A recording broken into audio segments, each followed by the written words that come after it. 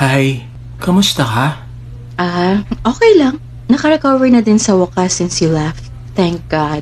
Masaya na kami ng boyfriend ko. Oh, napatawag ka. Well, ah, gusto ko lang sabihin na... I'm sorry. I'm sorry dahil nasaktan kita. Alam ko na minahal mo ako ng gusto. Minahal din kita. Kaya, I'm sorry. Actually, perfect timing na rin siguro to na sabihin sa'yo na I forgive you too. Minahal kita.